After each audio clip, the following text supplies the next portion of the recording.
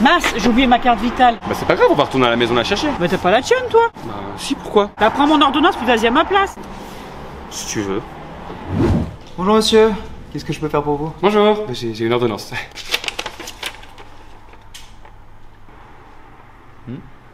C'est pour vous? Eh ben oui, pourquoi? C'est pas très courant les mycoses vaginales chez un homme. Oui, en effet. Lisa, vous pouvez m'apporter une crème pour les mycoses vaginales? C'est pour monsieur. Vous souhaitez régler comment? Par carte, s'il vous plaît. Très bien.